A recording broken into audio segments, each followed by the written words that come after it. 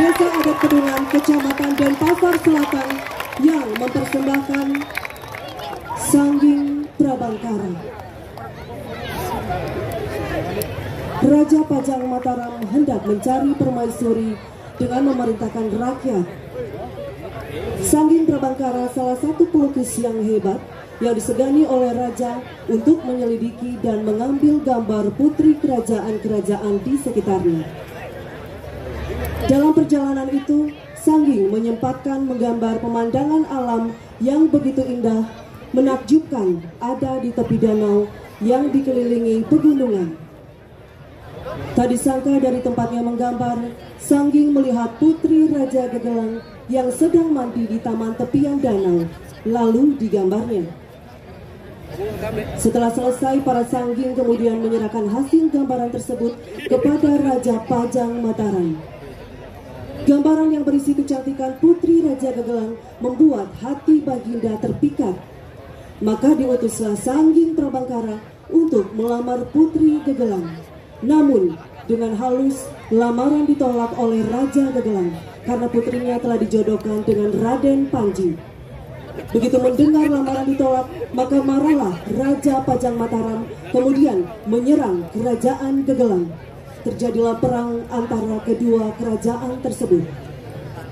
Garapan ini mengambil ide cerita yang bersumber dari kearifan lokal Gambu Pedungan yang kemudian dituangkan dalam sebuah garapan beleganjur dengan mengadopsi teknik, gending, pola, dan warna suara gamelan pegambuhan.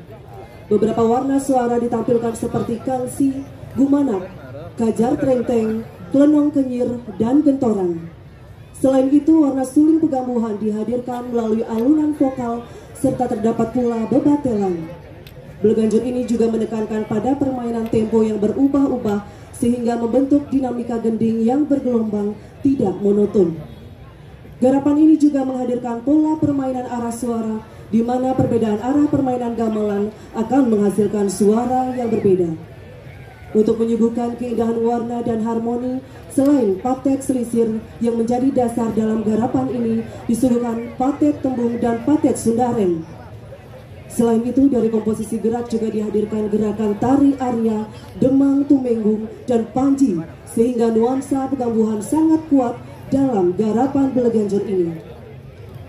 Dalam mewujudkan garapan Belaganjur ini diperlukan kecerdasan, kecermatan, ketelitian yang mencerminkan sosok Sangging Prabangkara.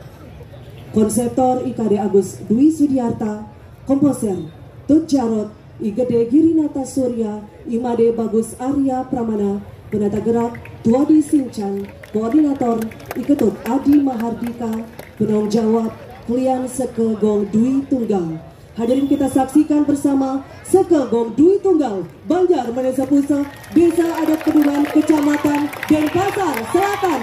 Selamat menyaksikan.